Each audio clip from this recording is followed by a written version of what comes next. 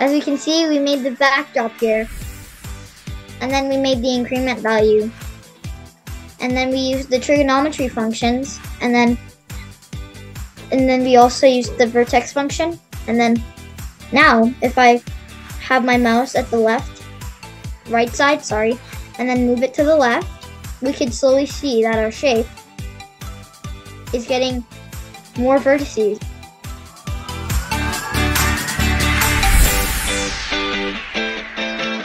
Today I'm going to make you understand a wonderful application that makes math so beautiful for the students and they're going to enjoy math while they are building so This is the way that we teach students about the Pythagoras theorem